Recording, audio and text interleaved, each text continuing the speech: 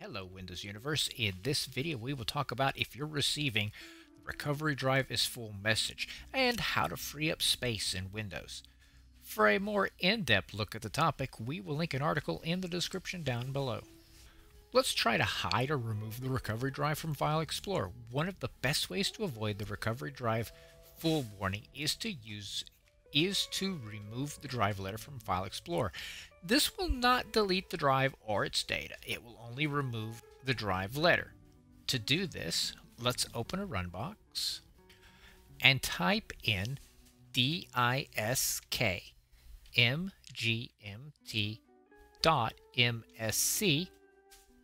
and click OK. Locate the drive number that you want to remove from the list. Left click on it to highlight it right click on it and choose Change Drive Letter and Paths. In the new window that pops open, click the Remove button to remove the drive letter from the Windows File Explorer. You'll get a warning that some programs that rely on drive letters may not run correctly and are you sure you want to remove this drive letter? Click Yes and if you go to the File Explorer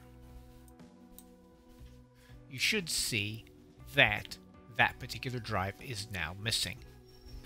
Extending the recovery partition is the best and a safe way to clear the load disk space warning from your system. You can easily increase the space of the recovery partition with the help of the in the built-in disk management utility. Open a run box by typing Windows and R.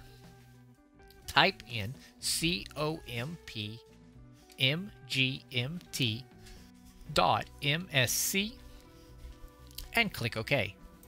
Select Disk Management under Storage. Right click on the recovery partition and choose to extend the volume. This will launch the Extend Volume wizard, where you can select the disk and for where the space can be taken. Select it and click to add it then fill in the final size and click Next. It will go through a long process to clear out physical space and then add it to the recovery partition. That said, you should know that if you want to extend partition space, you need to free space on the same disk. Even if you have enough space on the second disk, it is impossible to extend or add a partition. If it is absolutely necessary, you can use the shrink volume feature to free up some space next to the recovery and then merge or extend the partition. You can also disable system protection. To avoid low disk space on the recovery drive warning of Windows, you can disable the system protection.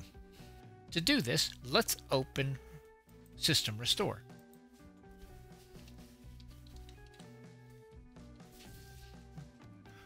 When it appears under Protection Savings, find the image that you're after and select Configure. This will review the system protection for the selected drives, and you have a couple options to recover space. Disable system protection will reduce the amount and reduce the amount of space allocated and delete all restore points. Now, System Restore is not needed for recovery partition, so you can choose to disable it. And make sure that you delete the existing restore points for this particular drive. Once again, it's not needed. Whenever your recovery drive runs out of space, you can run the built-in cleanup program to scan the drive and delete unnecessary programs. So, open so let's open a run box and type in C L E A N M G R and click OK. Select the drive from the drop down menu and click OK. The program will let you know how much space can be freed up. Choose unnecessary files and click on OK to free up space on the recovery drive in Windows. you need to be careful what you delete here. You can also delete the recovery drive. Deleting the recovery drive is another option for you to avoid this recovery drive is full warning. However, make sure to take a, a backup partition before using this method. Go into Disk Management, select the image, then select the recovery partition and click on Delete Volume and it will delete the recovery partition.